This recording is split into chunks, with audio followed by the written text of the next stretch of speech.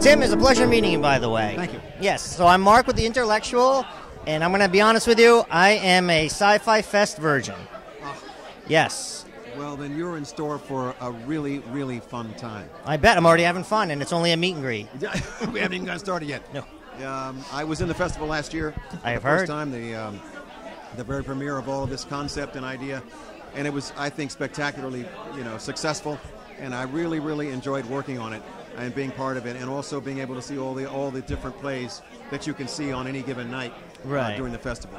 You had a very successful radio play last year. Yes, we did. We Yeah. did a very successful comedy piece. Yeah. Very fast, very up tempo, uh, very, very, very satirical and very funny. I thought it was wonderfully written, and we had a, a blast doing it. That's nice. And how about this year? What about your This project? year, same thing. I'll be doing another radio play. Okay, comedy? Uh, yes, it is a comedy. Okay. And I'll be playing a police sergeant.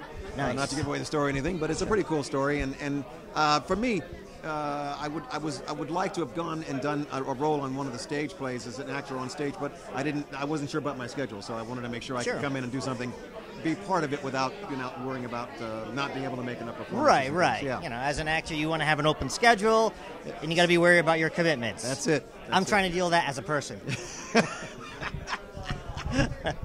uh, so, uh, comedy, uh, that's not naturally your forte, but I guess uh, this is something you enjoyed. I have done. your- I have done a lot of comedy over the years, and a lot of it's been dry. It's certain style. dry, yeah, it yeah. tends to be dry. Yep. And that's the stuff that I really enjoy. Last year, I mean, the play we were in, the radio play, actually was a lot more broad than I normally play. Really? Okay. Um, this one might be a little bit more broad as well, but it worked really well. Just based it was written, the kind of role I was playing, it worked just fine. Okay. Yeah. I think that's a great hybrid of, uh, of, of film Yes. a- and of like plays as well. Absolutely. Sci-fi and comedy. Yeah, science fiction. There's no reason why you can't have the comedy element in there because, quite honestly, I mean, some of the most famous movies, what is it, Spaceballs and things like that. You said it right there. That's right, man. Is there How any way we can hear it?